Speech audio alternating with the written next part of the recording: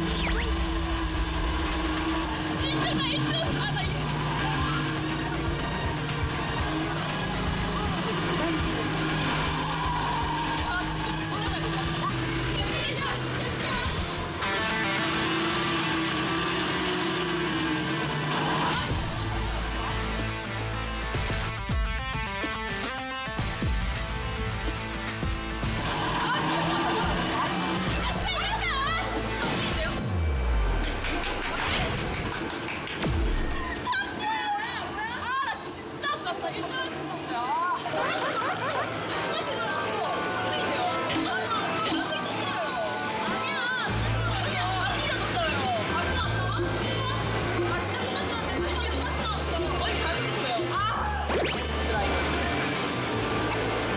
아 진짜 재밌다. 와 게임 왜 이렇게 못해 진짜 난 이거다 이거. 아 그래 짠! 다음 게임 라운드는 이거 아시죠? 소준이랑 배틀하겠어요. 1번 타자 박소진, 2번 타자 김유라.